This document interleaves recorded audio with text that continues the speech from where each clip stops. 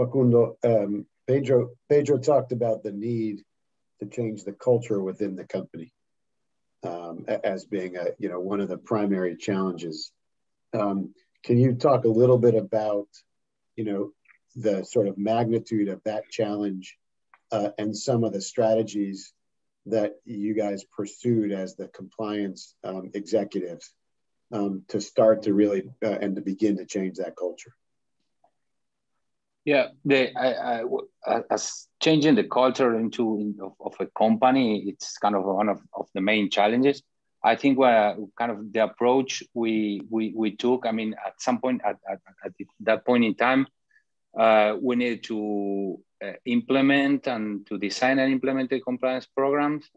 Uh, in the same time, we we need to to conduct or implement uh, certain remediations in order to comply with the with the with the, several standards under under the specific investigation.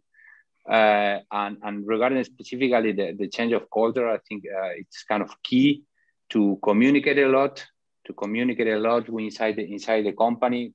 One of one of uh, uh, uh, good approach we, we we have taken was visibility on the regarding the compliance function, uh, meaning really being really close to the business, just to, to be seen as, a, as, a, as an advisor, providing legal advice in real time, uh, safe, safe advice.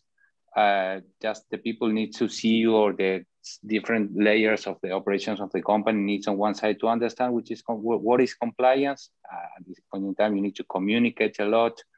You need to conduct a lot of trainings about that uh, that was really kind of challenging in the middle of the investigation, in the middle of the implementation of, of certain remediations, which, by the way, uh, some some remediation they start in, early June 2000, 2015. You you really need to get um, exposure or visibility within the company. You need to walk the company. You need to walk to the uh, all the stakeholders. One of the key components was like uh, kind of you, you, I think you need to to really understand uh, which is the, the entire set of, of, of, operations on the company. At some point, uh, you need to kick the tires of the entire operations. Probably you need to travel uh, just to understand, to cover all the aspects in this case of Torneos of TV production or, or sporting uh, or organizing uh, events.